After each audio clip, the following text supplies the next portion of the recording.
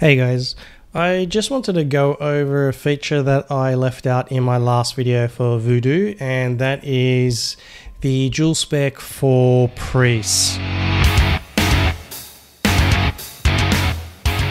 Now, this really only applies for priest, so I'll just go over it quickly just for the priest. So, you have your profiles here that you can set for different different classes, different healers and whatnot. And you've got the the spec here where it says spec one disc, spec two holy.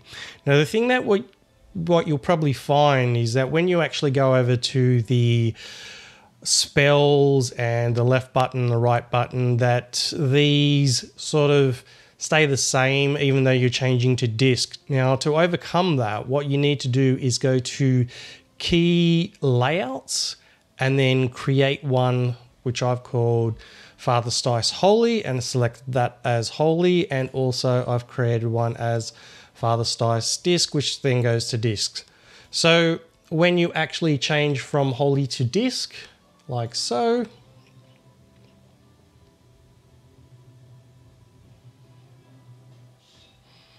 and let's just swap that. It then changes the the the spells uh, or talents for each left click, right click, and, and so on.